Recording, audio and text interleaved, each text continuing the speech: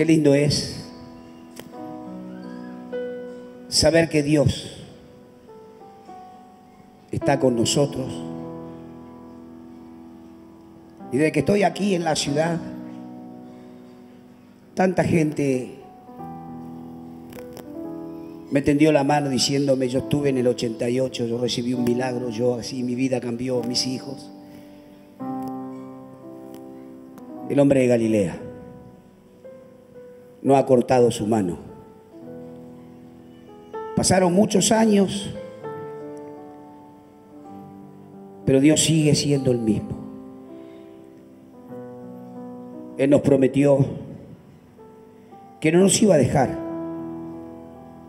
y que tampoco nos iba a desamparar, que Él iba a estar con nosotros todos los días hasta el fin del mundo. Aunque vengan pruebas, luchas, dificultades, cuando tú tengas necesidad, levanta tu mano y ahí vas a encontrar su mano tendida tomando la tuya. Sé que en estos tipos de reuniones muchos vienen con expectativas, otros vienen por curiosidad, otros vienen por necesidad, otros porque los invitaron y los trajeron, están casi por obligación. Yo no sé por lo que tú has venido, pero sí sé que Jesús te trajo. Él vio tus lágrimas. Él conoce tus por qué. ¿Cuántos por qué? ¿Por qué? ¿Por qué? Es algo muy común. Porque a mí. ¿Por qué esto? ¿Por qué aquello? Hoy Jesucristo está aquí. Y siempre Él tiende la mano y la tiene tendida para que aquel que sinceramente necesita pueda tomarse de su mano. Pasaron años, ¿verdad? En el año 1982, justamente en el mes de abril, comenzaron las campañas al aire libre. 30 de abril del año 1982. Un tiempo antes Dios me habría hablado y me dijo, lee Ezequiel 37, el valle de los huesos secos. Es el tiempo. Comienza a proclamar. Estaba orando un 30 de diciembre en mi casa, diciéndole Dios, apenas arrojé un vaso de agua en el medio del mar. Argentina es grande, pero en ese momento sentía como que estaba solo. Que había un, una nación que necesitaba a Jesús. Sí había muchos haciendo y predicando, pero en ese momento me sentí solo. Apenas arrojé un vaso de agua en el medio del mar. Así lo sentía. Recuerdo que me llama un colaborador para agradecerme el haberle permitido estar todo ese año trabajando con nosotros y colaborando. Y yo le decía, mira, recién acabo de terminar de orar y, llorar con Dios y decirle que apenas arrojé un vaso de agua en el medio del mar, donde hay tanta necesidad. Y él me contó una historia. Yo no sé si era tan así, pero lo que me contó era, mira, cuando yo era chico, mi abuelo me despertaba siempre, vivía cerca del mar, iba a la casa del abuelo a pescar, cinco, seis años, siete años. Y a las cinco y media de la mañana a pescar. Y me llevaba y yo iba con él. Uno de esos tantos días que mi abuelo estaba pescando y de pronto pasó algo raro, como que una ola muy fuerte vino y cuando se retiró quedaron miles, millones de pececitos que se movían. Estaba amaneciendo, quiere decir que como que parte de la luna le daba y era como que brillaba y se movían, eran millones. Pero la ola que vino después fue más corta. Y todos esos pececitos quedaron varados allí, no había manera de que puedan volver al mar. Mi abuelo dejó la caña, bajó y comenzó a agarrar los pececitos y devolverlos al mar. Claro, eran millones. Y yo le dije, abuelo, vale la pena. Cuando hay millones que unos poquitos puedas devolver al mar. Y me dijo, mi abuelo me mostró uno que se movía en la mano, que tenía vida. Lo devolvió al mar y dijo, por este vale la pena. Yo le estaba reclamando a Dios, Señor, apenas arrojé un vaso de agua en el medio del mar. Pero Dios me estaba diciendo a través de este, esta persona, de este joven, vale la pena. Vale la pena predicar aunque ganemos un alma, vale la pena predicar el Evangelio, salir a los parques, a las plazas, a las calles, a buscar los perdidos. Vale la pena. Y recuerdo que ese mismo día Dios me dijo, Carlos, no te detengas. 2011, no te detengas. Yo llevaba predicando una pila de años. No te detengas. Los cielos aún están abiertos sobre Argentina. Hay una generación que estoy levantando. Hay una generación que no vio y tiene que ver. Y hay una generación que está en marcha y va a salir a los parques, a las playas, a todos los lugares. ¿A qué? A predicar el Evangelio de Jesucristo. ¡Aleluya! Invasión del amor de Dios es una de ellas. Fuerte el aplauso al Señor Jesucristo. ¡Aleluya!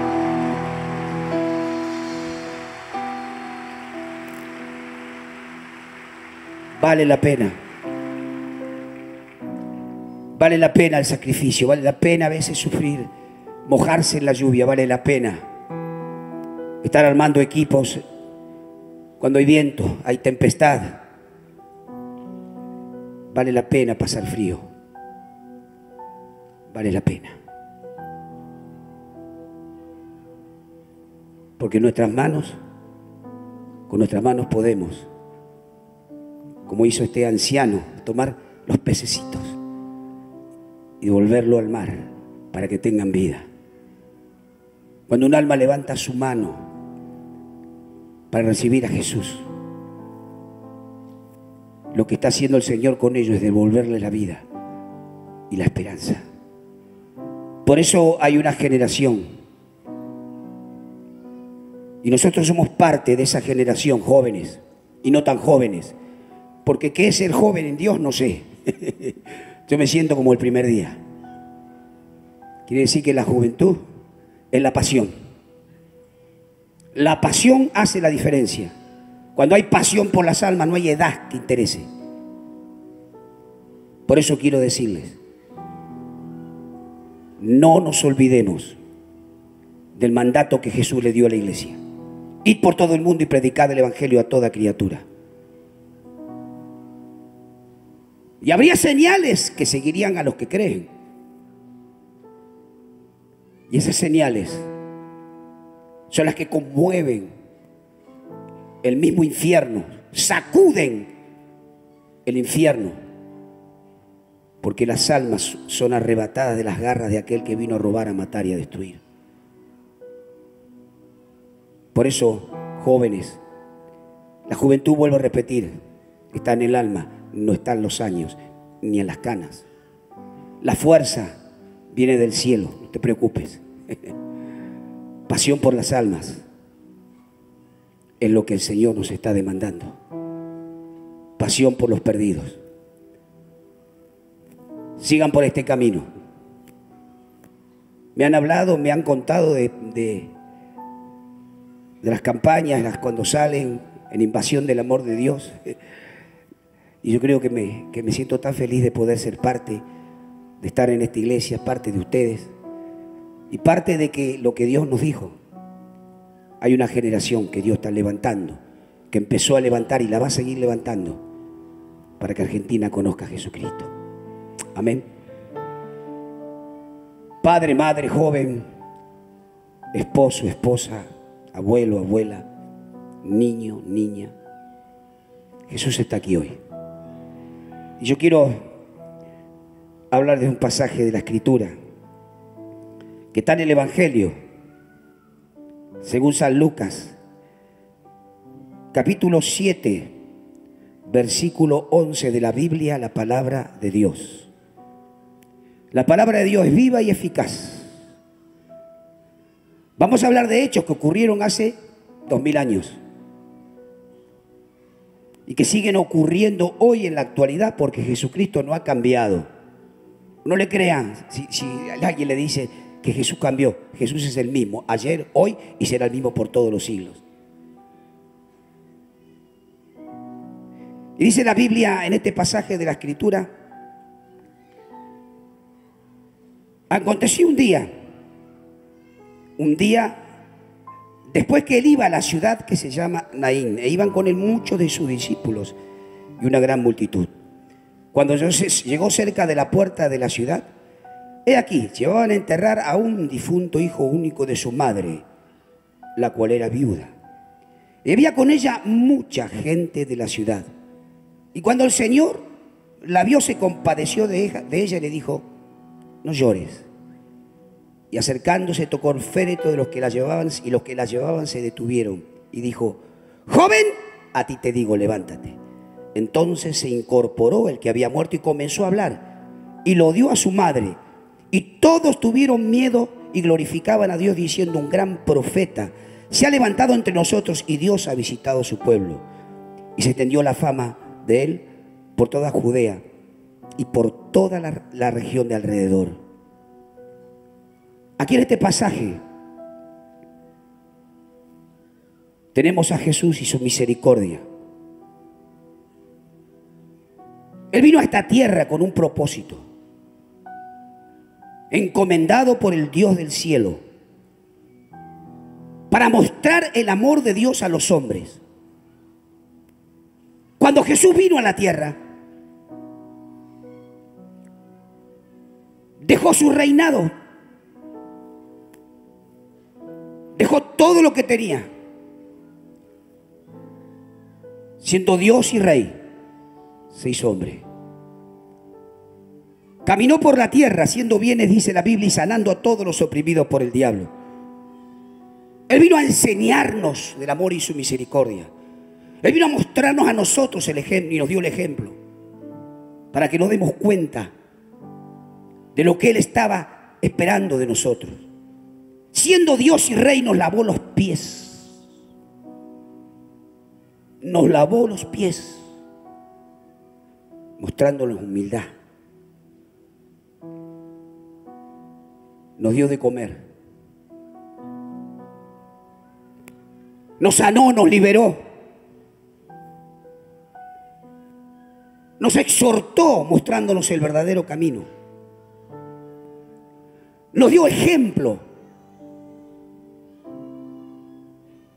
Él siempre estaba rodeado de multitudes, siempre. Grandes multitudes iban tras Jesús.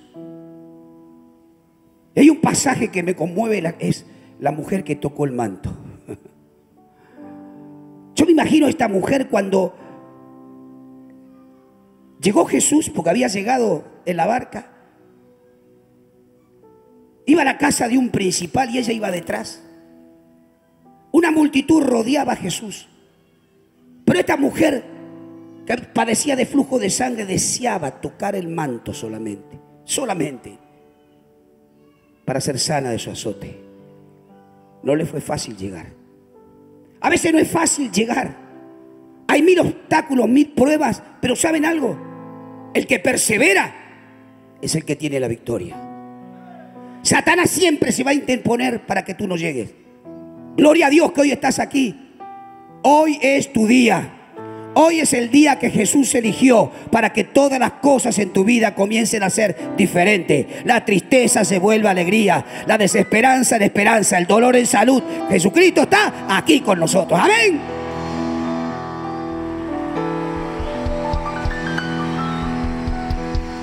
Esta mujer padecía de flujo de sangre.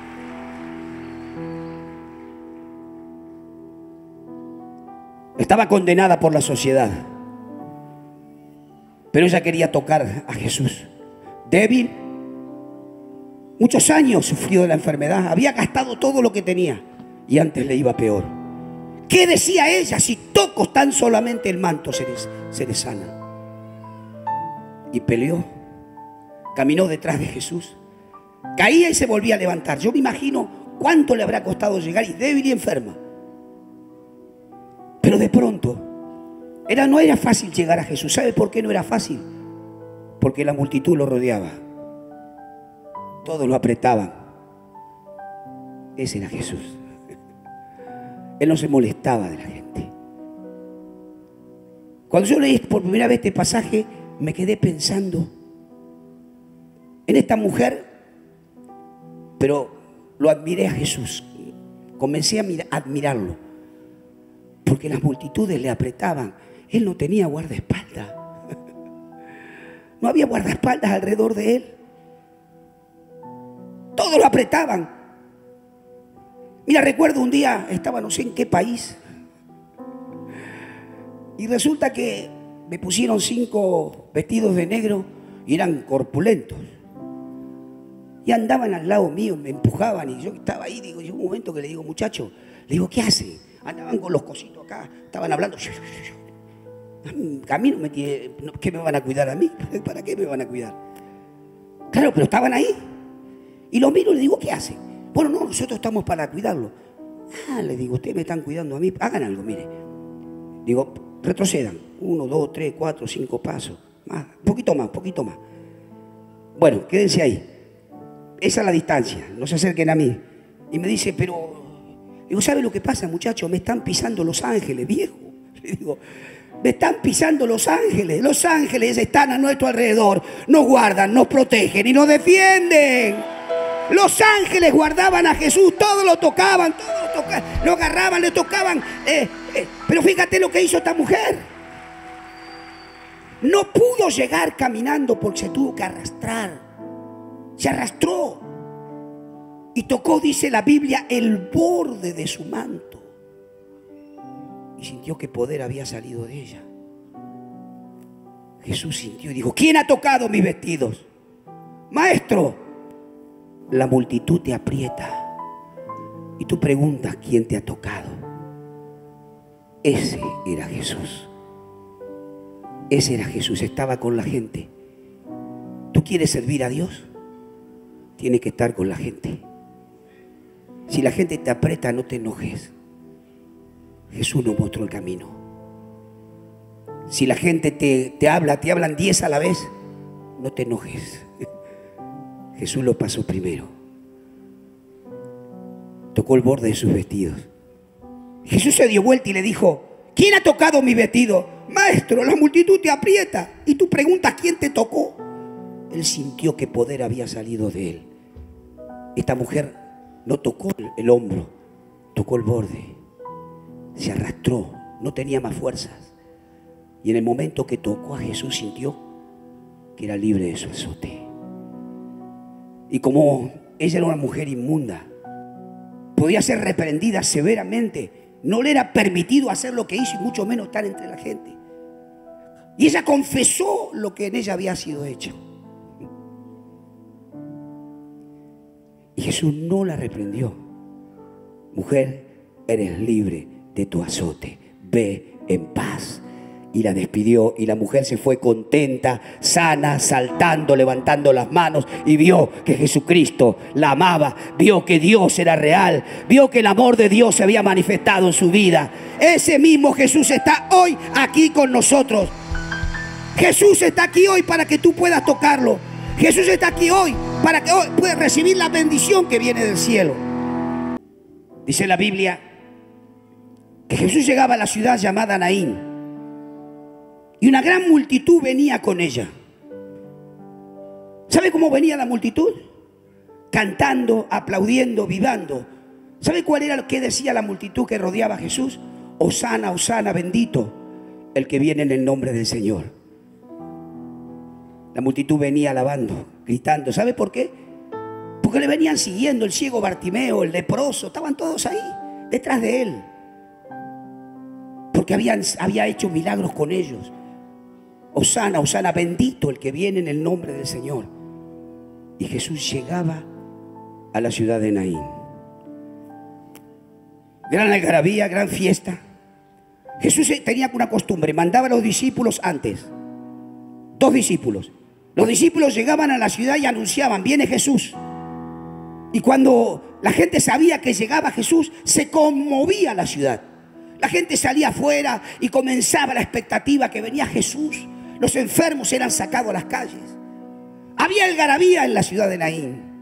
Fiesta en la puerta de la ciudad. Osana, Osana, gritaba la gente y aplaudía y saltaba de alegría. El pueblo de Israel es muy así, eufórico cuando alaba a Dios. Y venían saltando felices, porque allí con ellos estaba la vida.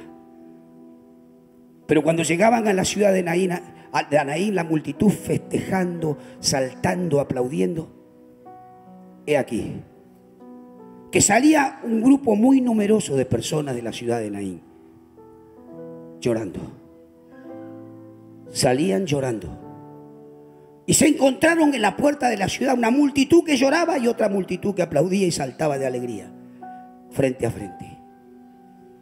Y en el medio de esa multitud que venía festejando, alabando a Dios, saltando de alegría, venía Jesús. Una multitud salía lamentando.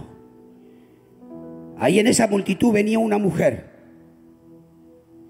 una mujer, ¿cómo se repite la historia, no? ¿Qué importancia tenían las mujeres para el Señor? ¿Eh? Por eso que las mujeres que están aquí hoy, siéntanse privilegiadas. ¿Saben por qué? Porque Dios dio el privilegio de ser madres, esposas y madres de concebir. Quizás tú me digas, yo soy estéril. Vamos a orar para que dejes de ser estéril. no te preocupes. Y venía una mujer. Dice la Biblia que era viuda. Había perdido todo. era viuda. Ahora su único hijo. Venía desesperada, llorando, gimiendo era viuda, su esposo había muerto. Ahora había perdido a su único hijo, su esperanza, su futuro. Ella pensaba que su hijo se iba a casar, iba a tener hijos, que su familia iba otra vez a ser conformada con su nieto, con su hijo, con su nuera. Y, ahí, sabe que el pueblo judío tenía muchos hijos. Gloria a Dios. Yo tengo nueve con María. ¿eh? ¿Qué le parece? ¿Sabe qué lindo es tener tantos hijos? Que la casa se llene de chicos. ¿eh? Y se peleen y griten y se vengan, ah, mamá, mira, este me hizo el otro y el otro. qué lindo. Yo añoro, ya se casaron todos, ahora tengo nietos. Y bueno, los nietos me hacen cada lío en mi casa. Cuando María, cuando llegan los nietos, guarda todo, saca todos los, los adornos, saca las alfombras, no sé, guarda todo, porque tiene miedo que le rompan todo. Bueno, se olvidó de cuando tenía nueve, ¿no? Y venían no solo los nueve, sino los amigos de los nueve. Pero bueno, soñaba en recomponer su, su vida, su familia. Tú tienes un sueño. Y Jesús es el Señor de los sueños. Jesús es el que hace reales los sueños. Si nos podemos poner en sus manos y creer. Nada es imposible para Dios. Mira, no hay nada imposible para Dios. Yo he visto cosas increíbles. Ese Jesús está aquí hoy. La mujer quería recomponer, venía, pero venía llorando, había perdido a su hijo, a su esposo, ahora su único hijo, su futuro, su esperanza había muerto. Lloraba desconsoladamente y Jesús venía en la multitud. Y dice la Biblia que vio a la mujer llorando. Ese Jesús. Ese es el Jesús verdadero. Ese es el Jesús que se conmueve. Él es el Jesús que tiene compasión por los que sufren. Y yo quiero que tú entiendas esto, que Él te ama, Había una fiesta, todo el mundo saltaba, había alegría, pero él vio a una mujer llorando, pudo ver una mujer llorando. ¡Qué sensibilidad! No puede haber risa y alegría cuando hay alguien llorando. Y Jesús dejó la multitud. ¿Y qué hizo? Fue directamente a la mujer para decirle, mujer, no llores. ¿Cómo no voy a llorar, Señor? A mi hijo. Mi ilusión, mi esperanza ha muerto. Y Jesús se acerca al féretro y tendió la mano caliente de la vida y tomó la mano fría de la muerte. Joven, a ti te digo, levántate. Y dice la Biblia que el joven abrió sus ojos a la vida. ¿Dónde está muerte tu aguijón? ¿Dónde sepulcro tu victoria? Yo soy la resurrección y la vida. Y el que cree en mí, aunque esté muerto, vivirá. Fuerte, fuerte, fuerte, fuerte, fuerte. Nada hay imposible para Dios. Nada hay imposible para Dios.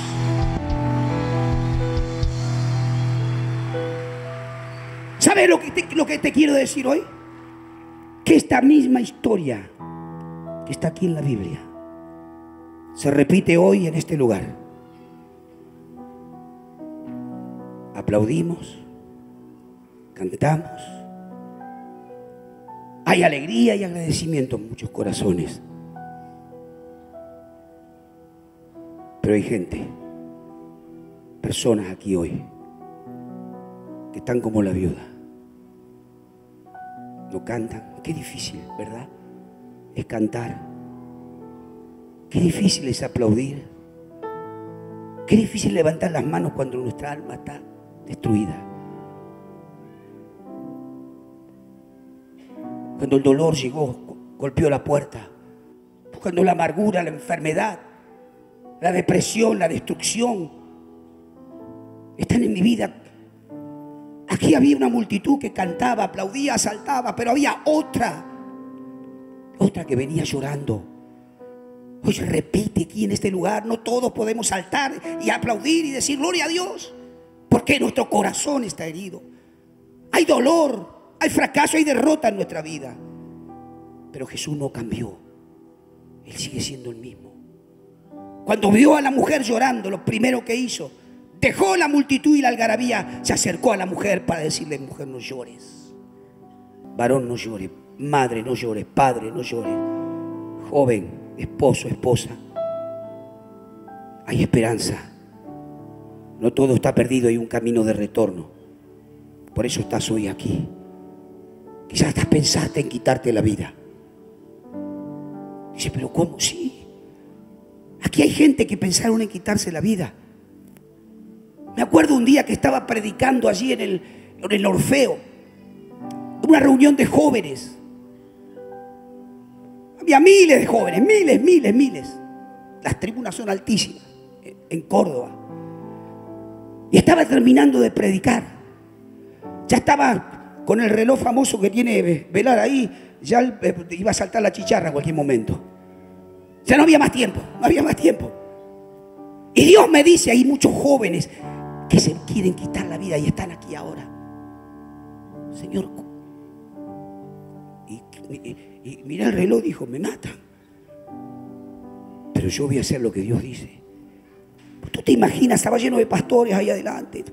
Los jóvenes estaban todos atrás, arriba y atrás. Cuando dije que hay personas jóvenes que si Dios no hace algo hoy, se van a quitar la vida. Están aquí. No tienen fuerza para seguir luchando. Está la oportunidad. Como que dijeron, si Dios no hace algo conmigo, pastores se miraban entre ellos, jóvenes que se quieren quitar la vida. Me acuerdo que yo me costó, porque primero dudé y dudé hasta que, hasta que me animé. Y recuerdo que cuando dije, joven, quizás esta sea la última oportunidad que le pediste a Dios. Y Él te oyó. Él está aquí hoy. Y Él me dice que hay muchos de ustedes que están pensando en quitarse la vida. que están esperando algo, porque ya no tienen más fuerzas para vivir, no quieren vivir más. Yo recuerdo que cuando dije, si ustedes están viviendo eso, por favor, yo hoy le digo que sean valientes. Dios quiere ayudarlos. Levanten la mano donde estén. Y yo empecé a ver manos que se levantaban. Por todos lados.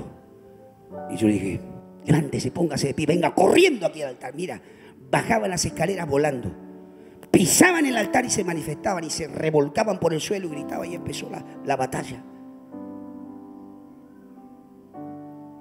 Dios le estaba dando la oportunidad. Algunos de ellos los vi después, felices. Mi vida cambió. Yo no sabía que Dios se acordaba de mí. Todos creían como que Dios se había olvidado. Yo quiero decirte, padre, madre, abuelo, joven, niño, esposo, esposa, tú que estás aquí o mirando por la televisión, Dios no se olvidó de ti. Y hoy te dice, volveos a mí y yo me volveré a ti. Si tus pecados fueren como la grana, como la nieve, serán emblanquecidos. Vamos a dar un fuerte aplauso a Jesucristo. Mujer, no llores. Varón, no llores. Hay esperanza hay esperanza. No cambies de canal si estás mirando. Dios quiere seguir hablándote. No, no te desentiendas en esta, en, esta, en esta tarde, noche. Dios quiere hablarte. Dios no quiere tu dolor. Dios no quiere tus lágrimas. Y sabes, un día Dios me mostró. En las reuniones todos parecen iguales. Pero pasa lo mismo que en la puerta de Naín. Había una multitud que gritaba, saltaba, aplaudía. Pero había otro grupo numerosísimo que no saltaba, que no aplaudía. Y hoy se repite la historia. Los que entraban a la ciudad de Naín estaban felices. Los que salían de la ciudad de Naín lloraban. Pero se encontraron las dos multitudes en la puerta de la ciudad. Una multitud feliz y otra triste y llorando. Estoy seguro que cuando cantaban el hombre de Galilea, o Dios o Diego decía, levante sus manos, Qué difícil es cantar cuando el, alma está triste. Qué difícil es sonreír cuando la enfermedad nos está carcomiendo los huesos. Qué difícil estar feliz cuando nuestra familia se destruye. Qué difícil estar feliz cuando duelen los huesos de la enfermedad. Qué difícil. Pero está pasando aquí lo mismo que pasó en Naín. Muchos aplaudían, cantaban, levantaban las manos, pero otros no tenían fuerza. Les caían las lágrimas de tristeza, de fracaso, de derrota, y están aquí. Y Jesús lo sabe, y Jesús está aquí.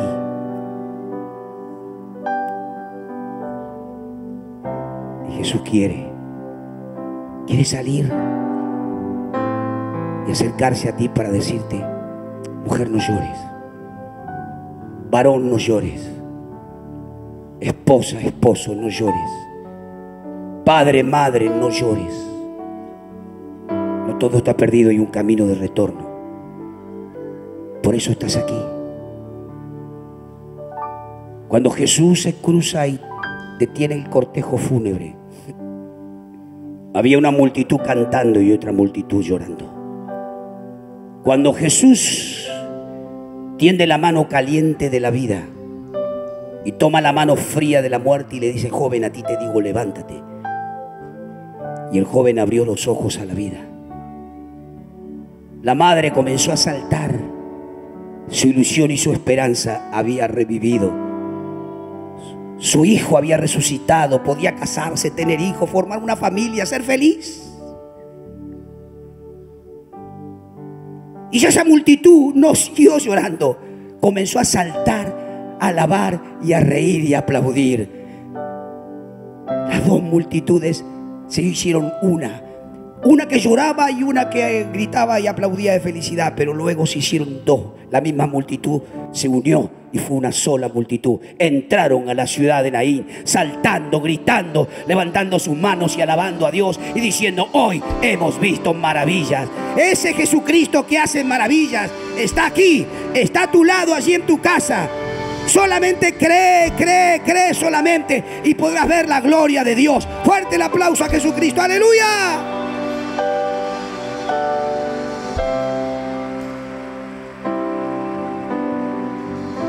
Hay proyectos, hay proyectos en Dios. Dios va a ayudarte a cumplir esos proyectos. Quizás no pudiste ni, ni una sonrisa, no pudiste aplaudir ni una sola vez, porque tu corazón está triste.